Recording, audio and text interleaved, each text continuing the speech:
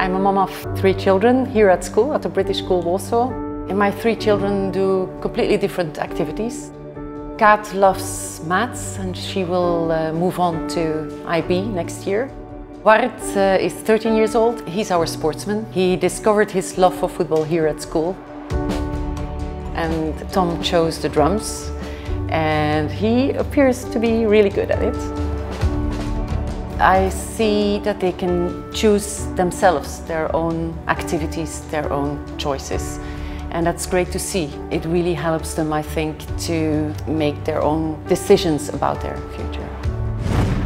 I've decided to go into a mathematical and scientific direction.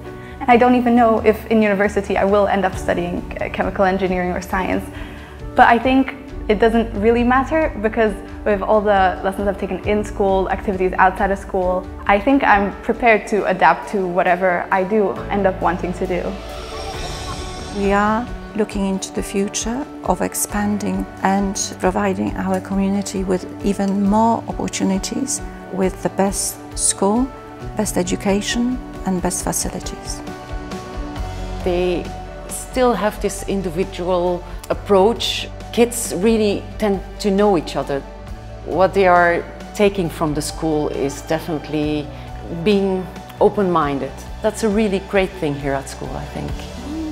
Mm.